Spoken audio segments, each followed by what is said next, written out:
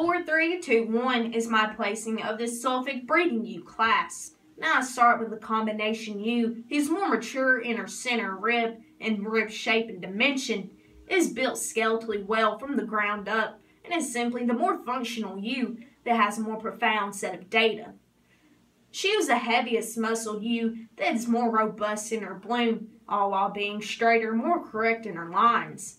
In addition, she's a more progeny ideal ewe as she's the fastest growing and has the highest lamb crop percentage, giving her more potential to excel in multiple births this breeding season.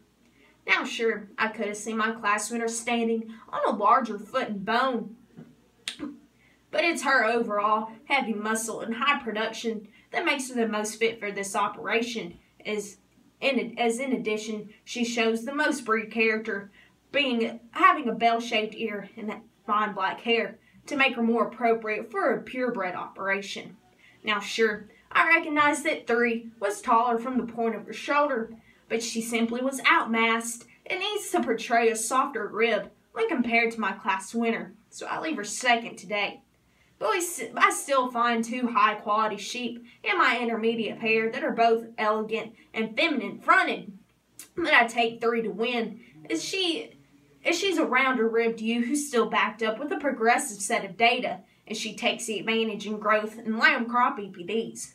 Now sure, 2 was longer from front to end, but she simply gives up the practicalities and performance seen in my top pair, so she stays at a close third.